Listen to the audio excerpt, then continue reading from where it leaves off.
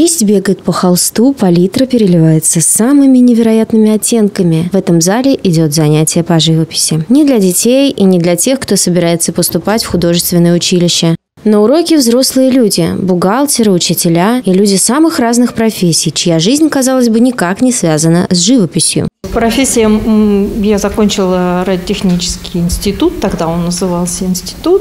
Работала, конечно, по профессии, по специальности много лет. Вот, ну, теперь вот на пенсии имею возможность заниматься тем, что нравится для души. Для этих художниц все началось больше 15 лет назад. И за студия рисовать это просто под руководством Ирины Быстровой только начинала свой путь. Сегодня это уже большой клуб единомышленников и даже друзей. А бессменный наставник, вдохновитель, учитель Ирина Быстрова неизменно с ними. Ирина Геннадьевна – это наш все.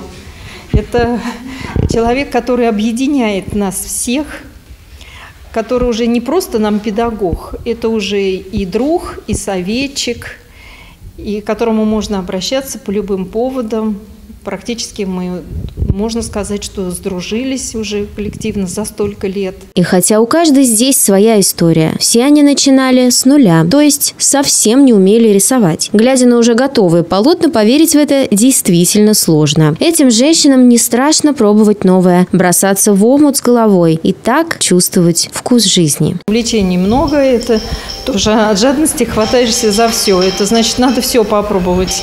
И куклы мод мотанки, и из глины слепить, и там, не, не знаю, что, что мы еще, из мозаику сделать, и игрушки вязаные, и прочее, прочее. Все, и живопись по шерсти. Некоторые занялись делом по сердцу с выходом на пенсию, когда свободного времени стало чуть больше. А кто-то кардинально развернул свою жизнь и сменил род деятельности. Профессия бухгалтера, потом захотелось помогать детям, занялась логопедией, а после уже пришло вот это вот творчество. После 30 как бы все поменялось, стал творческим человеком. Здесь приходят взрослые, которые когда-то мечтали, но не сложилось, например. Не сложилось там. Или в художественную школу не отдали родители, тогда это было сложно, потому что здесь с возрастом... Вот, э, раньше одна художественная школа была на весь город, первая. Это сейчас у нас в каждом районе много художественных школ.